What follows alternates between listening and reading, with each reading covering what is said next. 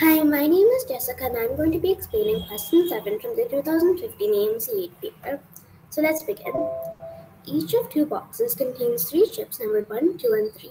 A chip is drawn randomly, randomly from each box and the numbers on the two chips are multiplied. What is the probability that their product is even? So we have two boxes and each of these boxes have three chips numbered 1, 2 and 3.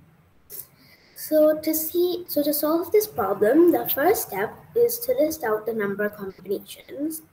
So you can take one from box one, multiply it with one from box two, and again from box one, and multiply it with two from box two, and then one from box one, and three from box two.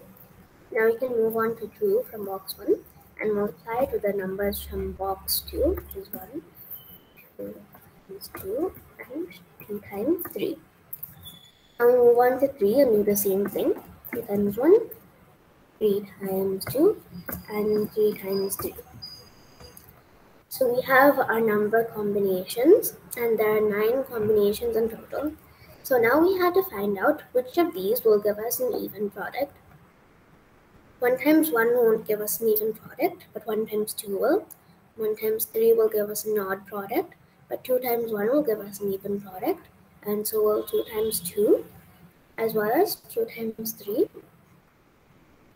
and 3 times 1 won't give us an even product but 3 times 2 will. And 3 times 1 3 times 3 will not give us an even product.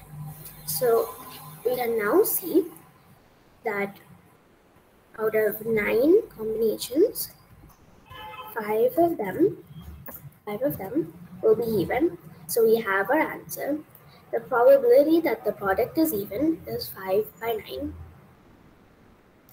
Thank you.